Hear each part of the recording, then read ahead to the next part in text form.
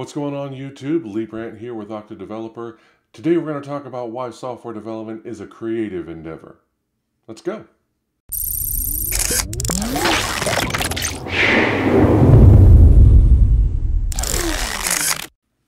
Okay, so most of the time when I tell people I'm a software developer, one of the first things that they say is, wow, you must be really smart. You must be really good at math. And I just, I don't feel like I'm much smarter than your average person. Um, although there's a caveat, I do meet a lot of software developers, so my my worldview may be skewed. Um, but I don't I don't feel any so smarter than your average person, and I'm not really into math or sciency type stuff. I'm not even super detail oriented. Um, I wanted to be a musician when I was a kid. I've been playing music since junior high school, you know, um, which is mathematical, I guess. I mean, I, I play drums, so it's a lot about time signatures and subdivisions and things like that. But for the most part, music, everyone can agree that music is a creative endeavor. Um, but when they think about software development, they think of it as being all about logic and math. And I don't think that's the case. Sure, there's a, a mathematical, logical component to it. I need to be able to create logic structures and follow that. But for the most part, um, I feel like it's a creative endeavor, at least these days. Uh, back in the day, it didn't used to be that way. I mean, in the 50s and 60s, um, they were creating programs for computers to try and compute how much fuel I'm going to need to get a 100 ton rocket out of the Earth's atmosphere and into orbit. O- okay, you know, that's that's very math oriented, very science oriented, and a lot of the people who were using that software was were scientists and mathematicians. Um, and the program programming languages they were using, they were making it up as they went along. So most of the time they're writing in assembler, um, and so they're very close to the metal. Um, these days, computers run everything. I mean, back in the day, computers took up an entire floor of a building, right? So a computer would be as big as one 4,000 square foot floor of a building. So it wasn't really practical. But now my phone is hundreds of times more powerful than that computer and it sits in my pocket. And so computers kind of run everything from e commerce sites for business to ATMs to even my thermostat in my house is I can control it with an app on my phone. Um, I can control my lights in my house with my phone. And so there's a lot more people who are not science and math nerds using computers these days. And so they need to be more usable for people who are not math geniuses, right? And one of the things that we think about when we think about programming computers as software developers, we think about the languages that we're using, and we're not programming in assembler anymore there's probably not a lot of people programming in C unless you're writing like trading apps or uh, video games or something like that. But most people are probably writing in a in a 4GL language like C or like C sharp or, or Java. They're writing in a fourth generation language that is, you know, three or four levels removed from the actual metal. Um, and so it's a much more creative endeavor today than it probably was back then. So, if we think about what you kind of need to be a computer programmer now versus then, um, let's talk about a few things that you probably need.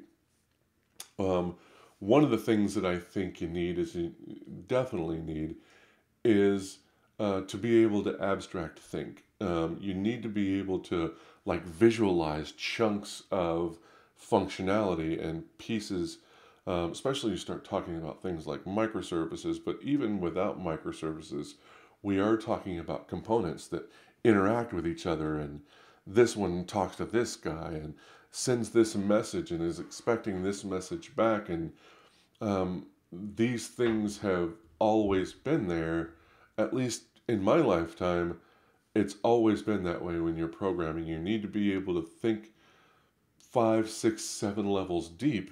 And so when this guy sends that message to that guy, that guy is going to take that message and send it to this component over here, who's going to calculate some value and send it off to him. And now we're three, four levels deep, and I need to be able to keep track of all that. So being able to think abstractly is a huge skill for, for computer programmers. Um, it's also one of the things that I think is most annoying because um, most people aren't, aren't aren't doing that for a regular daily job. So it's not uncommon for someone to come to your desk and say, "Hey man, can you take a look at this?" and you're six or seven levels deep in this abstract web of things that you're thinking about. So being able to like put that aside and help them with their thing and then come back and get seven levels deep again, um, it's a major, it's a major problem. Um, but I digress. Um, so the other thing that you need to be able to do is you need to be able to think um, about a business. You need to be able to think about business problem solving. Um, you need to understand how the business works and how to model that abstractly in a piece of software. I've always said if you can understand the flow of paper in an organization, then you understand how the organization works. So if we think about like um, back to the old way of doing things before computers, a, com- a customer would put in an order and someone would write it up and they would send that to the order fulfiller and that order fulfiller would take the order find all the things that go with that order package them up send them back out to the customer. Um, and it happens a little bit that way now it's just all computerized. But thinking about the flow of paper in an organization helps you be able to model um, business. And understanding how business works and how business solves problems will make you a more effective software developer. And um, that is a creative process as well because you need to be able to think about how business out in the world is working and be able to immediately change directions if the industry changes or if some big news hits or some big new regulation hits being able to change direction leads back to that being able to abstractly think about something. And now I've got all these six or seven pieces, and oh, this one won't work anymore. So we'll just change it out with this. That's being able to visualize everything in a business process and being able to swap out pieces or figure out how these two pieces should communicate. Um, the other thing is critical thinking skills, and this is probably one of the ones that I think is um, most lacking in most people. It's critical critical thinking. So um, you need to be able to think critically about what you're doing. Um, how should this work? Um, how does it work? Do those match up? Um, what if it doesn't work that way? How can it break? Um, what if it's not what the business needs? Even if it's what they asked for, what if it's not what the business needs? Because you need to be able to talk to the people who run the business, the day to day of the business, or the day to day of even a department in the business, and extrapolate, or at least extract from them, how they do their job and how their their job or their piece of the organization works and be able to fit that into how the overall organization works. And you need to be able to think critically about that. You need to be able to doubt that. You need to be able to say, well, what about this? Um, this comes to not only um, extracting requirements from people. Um, when I first got into the business, one of the things that I was told early on, as far as gathering requirements, is your two two best friends in this world are the words "what else." That's that's still helpful, but it's not the only thing. Really, um, you need to be able to ask what if. What if? So I'm writing a piece of software that I want customers to be able to come in and order a record. Okay, well, what if the record they want isn't in, in stock? What if we don't have that record? Um, how do we handle that? What if someone else buys the last one of those records right before that customer? Um, how do we handle that situation? Those sorts of things, thinking critically about the business process and about what you're going to be building um, is one half of that. But also being able to think critically about your software in general, like, and this goes to, to like testing, like unit testing. So I have a method here that calculates these things and takes in two variables. Well, what if those one of those variables is null? What if one of those variables is 100 million? What if one of those uh, variables is a negative number? What if those one of those variables is supposed to be a string but it's an integer um, coming in as a string? Whatever the case. Um, those sorts of things are things that you need to be able to think about and be able to constantly be skeptical of. Um, and that will make you um, a better unit tester and a better and better at dealing with the organization which brings me to the other thing that you need to have is people skills. Um, you need to know how people think at least to a certain extent. You don't need to be like a psychiatrist or or a, um, a psychology major. You just need to be able to understand how people are going to use your software. You need to understand how they do their job today and you need to understand how what you will be building will help them in the future. Um, one of the things that people get all up in arms about a lot of the time is they believe they really people really believe this that I'm going to build a piece of software that puts them out of work. Um, never in my 23 years of building software has anyone ever been put out of work by a piece of software that I built. Ever. Um, now, I have actually built software that made that person's job easier. I've made it so that they don't have to deal manually with every order that comes in, only with those exceptional orders. So not only do they not have to deal with the mundane routine things that the business do does, but they get to actually deal with the interesting things like this is an exception to the rule of our business. I have to manually get in there and, and handle it as a human being. So, um, you also, as a software developer, you don't work alone most of the time. Um, you work as part of a team. Even like me, I work remote. As a matter of fact, I think just about everybody on our team is remote. I'm trying to think of, um, there's only a couple of people that actually work um, in an office everybody else works remote because we travel a lot. So I I I still have to deal with my team all the time. There's Slack, there's text messages, there's emails going back and forth all day long talking about what we're building and what we're doing. Um, and you need to be able to work with people from diverse backgrounds and people from who didn't grow up like you grew up and people who don't understand the software the way you understand it. A lot of the times I've found that to be super helpful when I'm working with someone else and we go to get requirements. I almost never, I can't imagine a time. It's been many, many years since I went to go get requirements without another software developer with me. Because inevitably, I will come out of a requirements gathering session and think, I've got it. These are the 17 things that they need. And I'll go and start discussing them with the other software developer who was in the meeting with me. And they'll go, That's what you thought they meant? I thought they meant this. And be like, Oh, well, that's quite different than what I was thinking. Um, we're going to need to put a pin in that and go ask them again, ask some more clarifying questions. So it keeps you from building the wrong thing. Now, how does this all come back to being creative? Um, so let's take musicians as an example because it kind of fits the entire gamut, but it applies to all creative endeavors. Um, first of all, you're creating something from nothing. Okay?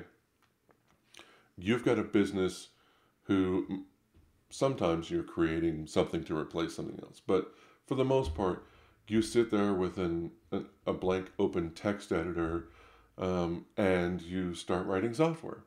Um, but it's that's akin to like a painter with a blank canvas and or or a composer with a blank sheet of sheet music, right?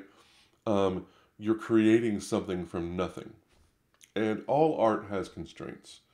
Um, as a matter of fact, one of the things that um, I, I do a lot of agile coaching as well, and one of the things that I always kind of turn um, agile people onto, or software developer people in general, um, is a book called Managing the Design Factory by Donald Reinertsen. Um, and basically, it's about how do you manage creatives? How do you manage people who are working on stuff that is creative and is therefore, by its very nature, non deterministic? Meaning, I don't know how long this is going to take. There's no way for me to tell you how long it's going to take for me to paint a painting. There's no way for you to, for me to tell you how long it's going to take me to write a, a score. But and it's the same way with software. There's no way for me to tell you how long it's going to take me to build this piece of software. Um, best little side story, best meeting I ever had. We were meeting with um, a company that wanted a piece of software built and it was first startup.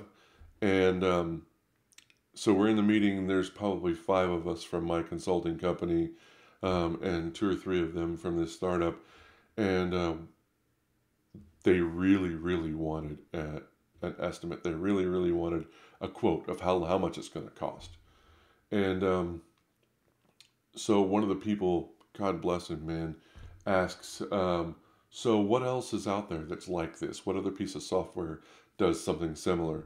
And they were like, nothing, nothing, there's nothing else out, out there in the world like this at all. This is a totally new thing. And he was like, well, if nobody's ever built it before, how could I possibly tell you how long it's going to take to build it? That's beautiful. And thank God for him for asking the question. But um, getting back on topic, creative endeavors are generally not deterministic.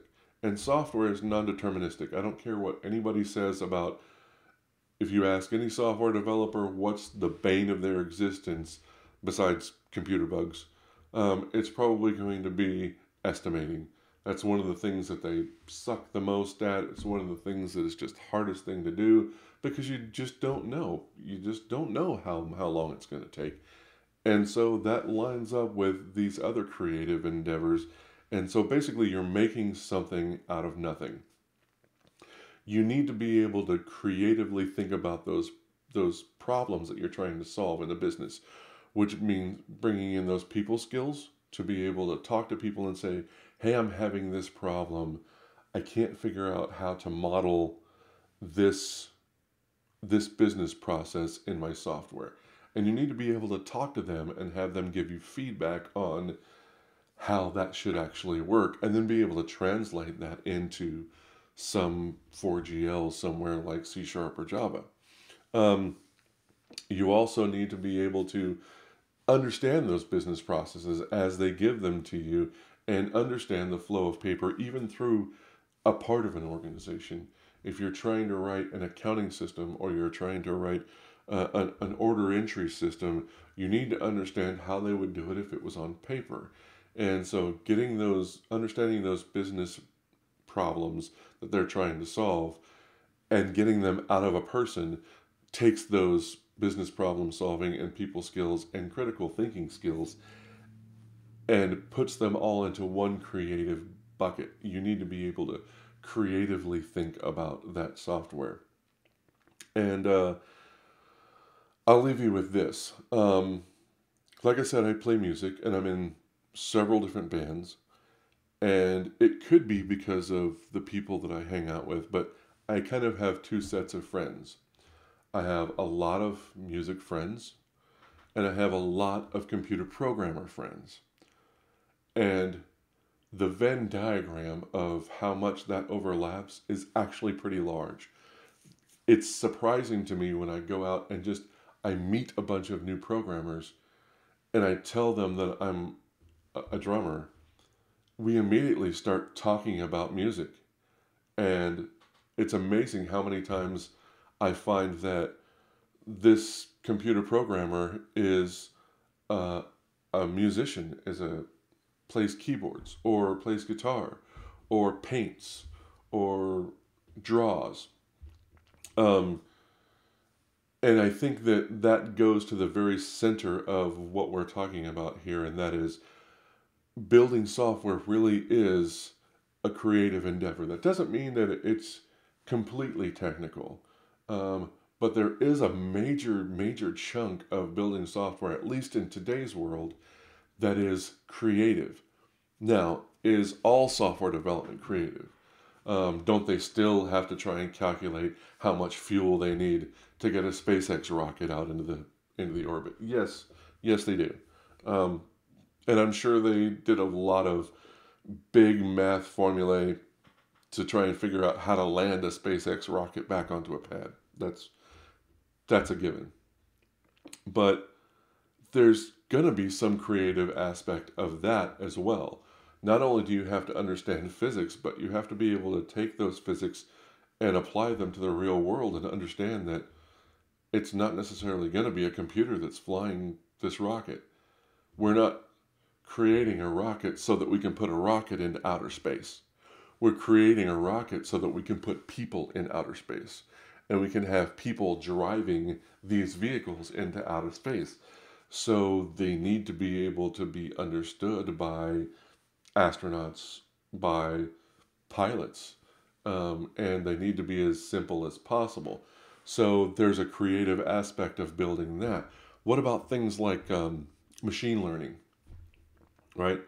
You talked any talk anybody I've talked to who's any good machine learning um, is I think some of the smartest people I've ever met. Um, and they are super into math. And that's that's fine. But one of the better uh, machine learning people that I know is also a really killer guitarist and singer.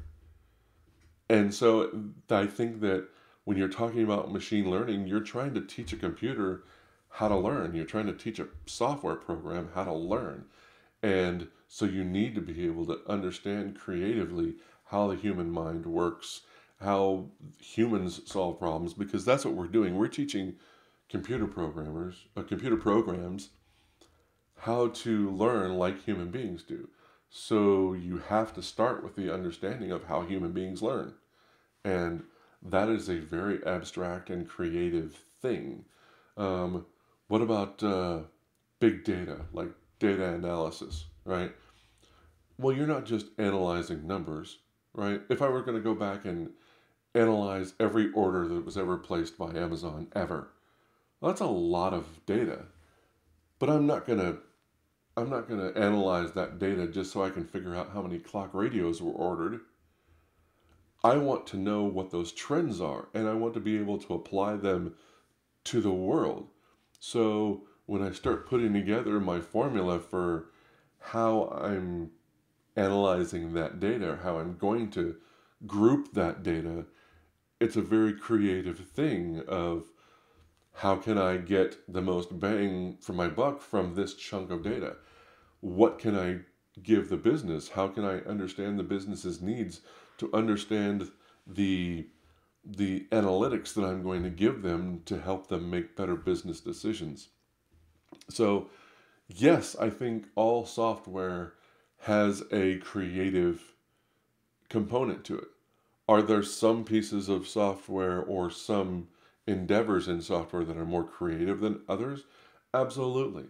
Um, people who are, you know, computer web designers who are designing web pages, that's a much more creative endeavor than the people who are creating APIs. But at the same time, creating the API, I still think, is a creative endeavor because you, it's even more creative because you have to be able to visualize what that UI is and what it's going to do with the data that you're building, you're applying, so that you can build an API that's easy to use, right? And even when we get into identity management, we have to think about how are these people going to be wanting to log in? What's going to make it easier for them to, for them to log in and still make it secure? So, yes, I think all software is a creative endeavor to certain degrees, right? Um, but yeah, I just I just wanted to put this out there today. I've been thinking about this for a while, um, and mostly it starts with everybody telling me that I must be a super smart math genius because I'm a computer programmer, and I just don't feel like that's the case. I feel like I use more of my creative muscles during the day writing software than I do my real math um, and logical or math and sciencey type things. Definitely logic is is part of it, obviously, but um, that's kind of the reason I got into computers is so I didn't have to do calculating. They can compute that stuff. I don't have to do math anymore. All I need to know is what the formula is, and the formula is usually based on real world things. So.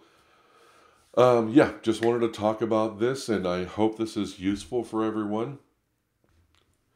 Hey, so if you found this useful or if it doesn't apply to you, make sure you leave a comment below. Um, if you like the content, uh, make sure you subscribe to our channel. Hit the little bell icon right next to it so you get notified. Uh, we release content every Tuesday and Thursday. So uh, thanks for joining us today, and we'll see you next time.